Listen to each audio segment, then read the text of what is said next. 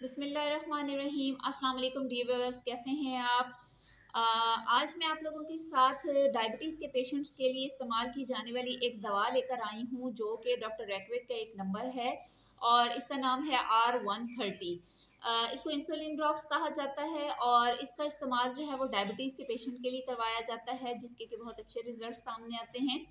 Insulin basically होती क्या है? Insulin is a hormone which is produced by the beta cells of the pancreas pancreas हमारी body में एक ऑर्गन है, जैसे कि स्टमक है लिवर है और लंग्स हैं।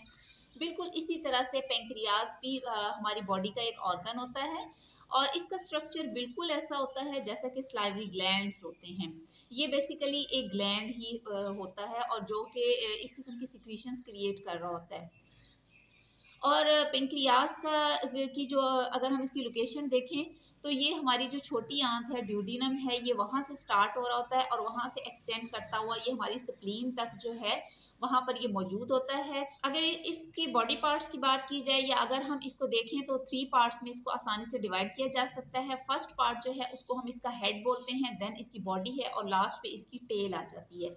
और इसमें बहुत ज़्यादा छोटे छोटे से लोब्यूल्स बने हुए होते हैं, जिनमें से एक्सक्रीशन आ रही होती हैं और वो एक्सक्रीशन एक्सक्रीशन जो होती हैं, उनको डायरेक्ट ब्लड स्ट्रीम में डाल दिया जाता है। जैसा कि मैंने पहले भी बताया है कि ये ऐसी सिक्रीशन इंसुलिन को खारिज को खारिज कर रहा होता है जो कि डायरेक्ट ब्लड स्ट्रीम में शामिल हो रही होती है और इंसुलिन जो होती है वो डायबिटीज़ को कंट्रोल करने के लिए बहुत ज़्यादा इंपॉर्टेंट होती है। इंसुलिन का एक और इंपॉर्टेंट काम ये है कि ये रेगुलेट करती है मेटाबॉलिज्म को, जो हम कार्बोहाइड्रेट्स खाते हैं फैट्स लेते हैं, ये प्रोटीन्स ले रहे होते हैं। इंसुलिन इनको डाइजेस्ट करने में बहुत ज़्यादा हेल्प आउट कर रही होती है। और इस किस्म की, इस इस एब्जॉर्प्शन को प्रमोट कर रही होती है और ग्लूकोज जितना भी ब्लड से ये ले रही होती है, उसको फिर लिवर में फैट में स्केलेटल मसल्स में जो है वो कन्वर्ट कर रही होती है। अगर शुगर का लेवल जो है वो हमारे खून में बहुत ज़्यादा हाई हो जाए तो उसके नतीजे में हमारे जो वाइटल ऑर्गन्स हैं हमारी बॉडी के, जैसे कि ब्रेन है हार्ट है, या लंग्स हैं, या हमारी जो विजन है, हमारी आइज़ की जो फंक्शनिंग है, वो बहुत ज़्यादा मुतासर होती है। ऐसे लोगों को हाई ब्लड प्रेशर भी रहना शुरू हो जाता है, उनका डाइजेस्टिव सिस्टम जो है वो बहुत ज़्यादा वीक हो जाता है हम जो भी कार्बोहाइड्रेट्स खाते हैं ट्राइग्लिसराइड्स वगैरह जो भी हमारी खुराक में शामिल होते हैं प्रोटीन्स वगैरह आ रही होती हैं, उनको डाइजेस्ट होने में काफ़ी ज़्यादा प्रॉब्लम हो रही होती है।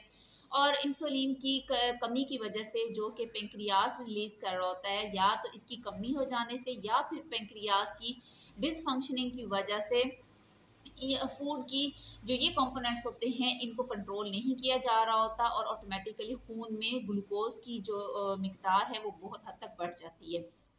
अगर हम इसकी कॉजेज़ की बात करें कि कौन सी ऐसी बातें हैं कौन से ऐसे फैक्टर्स हैं जो कि हम, हमें डायबिटीज़ की तरफ़ ले जाते हैं तो उसमें मैं ये कहना चाहती हूँ कि जिस तरह का हमारा एक हैक्टिक लाइफस्टाइल बन गया है, उसकी वजह से और इसके अलावा लेट खाना खाने से लेट टाइमिंग्स हो गई हैं हम लोगों की कि हम खाना बहुत देर से खाते हैं और जैसे कि रात का खाना अगर बहुत देर से खाया जाएगा, फिर उसके बाद हम सो जाएँगे तो उसको प्रॉपर तरीके से डाइजेस्ट होने का टाइम नहीं मिलता।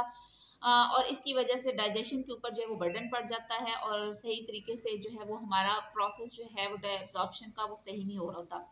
एक और बहुत अहम वजह जो है वो टेंशन है, ज़्यादा टेंशन और स्ट्रेस लेने वाले लोगों को भी डायबिटीज़ का इशू जो होता है या पेंक्रियाज की जो मेल फंक्शनिंग है वो सामने आती है क्योंकि मैंने बताया कि ये एक हार्मोन है और ये एक ग्लैंड है तो स्ट्रेस लेने स्ट्रेस लेने से जो है हमारे ग्लैंड्स जो हैं वो मुतासर होते हैं और इस किस्म की हार्मोन्स क्रिएट हो रहे होते हैं जो कि हमारी ऑर्गन्स की फंक्शनिंग को ख़राब कर रहे होते हैं। इसके अलावा जिन लोगों का वेट बहुत ज़्यादा हो जाता है, वो बहुत ज़्यादा ओबीज हो जाते हैं, ऐसे लोगों में भी पेंक्रियाज की मेल फंक्शनिंग जो है वो देखने में सामने आती है।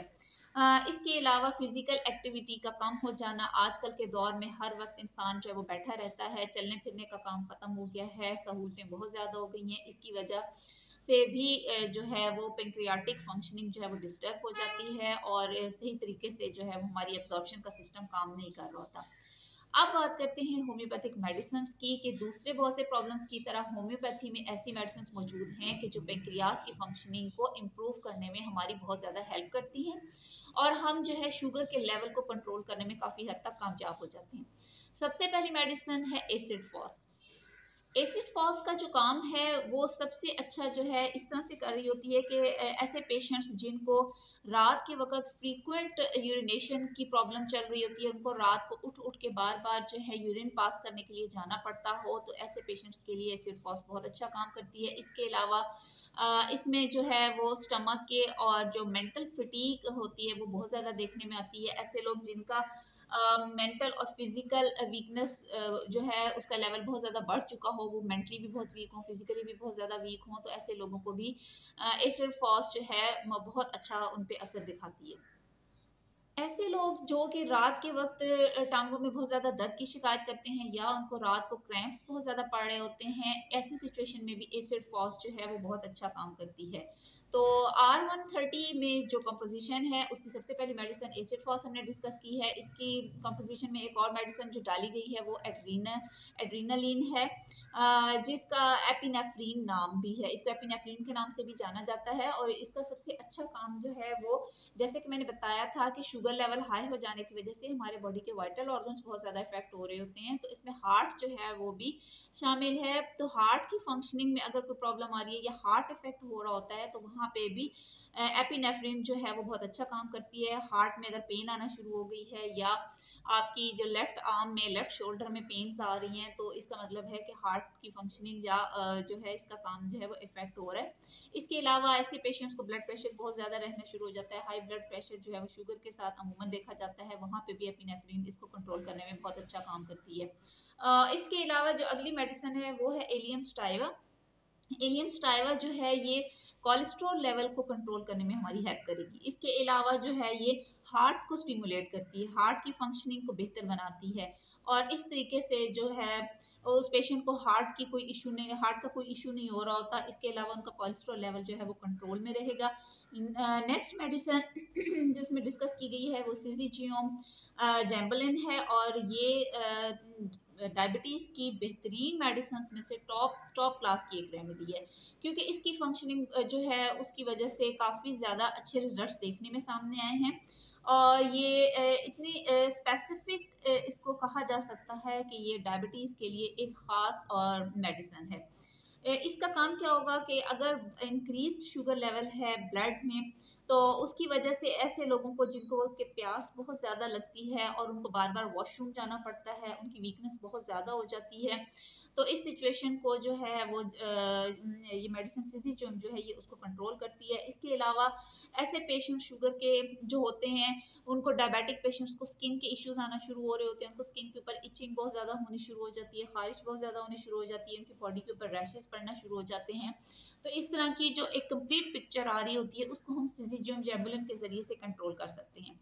तो ये तो था एक रिव्यू जो कि मैंने एक शॉर्ट सा आप लोगों के साथ डिस्कस किया है कि डॉक्टर रैकवर्क के आर वन थर्टी ड्रॉप्स जो कि इंसुलिन ड्रॉप्स हैं और जिसको हम डायबिटीज़ के लिए इस्तेमाल करवाते हैं, उसमें जो मेडिसिन इस्तेमाल की गई हैं, ये उनका एक मैंने शॉर्ट सा रिव्यू आप लोगों के साथ डिस्कस किया है, क्योंकि इसकी सारी मेडिसिन को डिस्कस नहीं किया जा सकता। तो उम्मीद करती हूँ कि आप लोगों को ये समझ आ गई होंगी और अगर आपको मेरी वीडियो पसंद आई हो तो मेरी वीडियो को लाइक करें। और जिन लोगों ने अभी तक मेरे चैनल को सब्सक्राइब नहीं किया kindly subscribe to my channel thank you so much अल्लाह हाफिज़।